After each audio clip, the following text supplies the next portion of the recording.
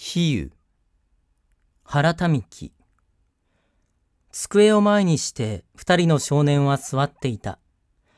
ガラス窓の外には寒そうな山があった。話は途絶えがちだった。時間がここでは悠久に流れていた。君はバカだよ。僕は君を軽蔑しているのだが、ただ便宜上付き合ってるのだよ。と、一人は腹の底でそう囁いたが、口に出しては言わなかった。仮にこんなことが平気で言えて、相手も平気で聞き流してくれたら、さぞ面白いだろうに、と、彼は腹の底で妄想した。相手の少年は、鼻で深い呼吸をしながら、何か別のことを考えているらしかった。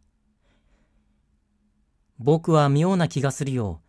こうして君と僕とここに座っているのと、ちょうど同じようなものが、どこかこの宇宙の裏側にもう一つあるのではないかと、いつもそんな気がするのだ。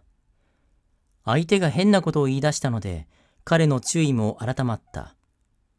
これは理屈でなしに、僕にただそう思えるのだよ。向こう側に感じられる世界は、ガラスのように透明で静かだが、やはり僕たちと同じもので、僕たちと一向異ならないのだ。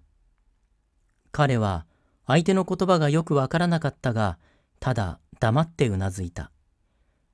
机、山、窓、二人の少年、それらの天でな妄想、そしてその副写。彼は黙って相手の顔を眺めた。